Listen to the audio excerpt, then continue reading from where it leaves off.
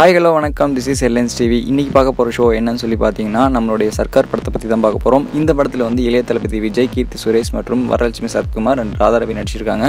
முக்கியமான comedy actor யாருன்னு பார்த்தீங்கன்னா இப்போ வந்து கட்டாய நடிகரான யோகி பாபு நடிச்சிருக்கார். இதில் என்னப்பா இருக்குது அப்படின்னு நீங்கள் என்கிட்ட கேட்கலாம். அதாவது நேற்று வந்து வரலட்சுமி சரத்குமார் வந்து அவங்களோட ட்விட்டர் பேஜில் என்ன போட்டிருந்தாங்க அப்படின்னா அதில் வந்து யோகி பாபு வந்து ஒரு லேடி கேரக்டர் நடிக்கிற மாதிரியும் அதாவது ஷூட்டிங் ஸ்பாட்டில் இருக்கும்போது அவருடைய கண்ணத்தை வந்து கிள்ளிட்டு போகிற மாதிரியும் இது யார் அப்படின்னு சொல்லி கெஸ் பண்ணுங்க அப்படின்னு சொல்லி அவங்களோட ட்விட்டர் பேஜில் போட்டிருந்தாங்க.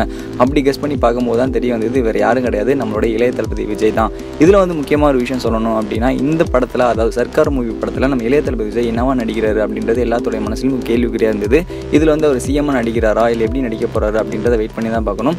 இப்போ வந்து ஐம்பது பர்சன்டேஜ் ஷூட்டிங் வந்து முடிஞ்சிச்சு இன்னும் ஒரு ஃபிஃப்டி பர்சன்டேஜ் வந்து யூஎஸில் எடுத்துகிட்டு இருக்கதா சொல்லிட்டு இருக்காங்க. ஸோ நம்ம படம் எப்போ வரப்போகுது அப்படின்றத நம்ம வெயிட் பண்ணி தான் பார்க்கணும். எனிவே இந்த வீடியோ உங்களுக்கு பிடிச்சிருந்து அப்படின்னா லைக் பண்ணுங்கள் ஷேர் பண்ணுங்கள் முக்கியமாக கமெண்ட் பண்ணுங்கள் ஹெட்லைன்ஸ் டிவியை சப்ஸ்கிரைப் பண்ணுங்கள்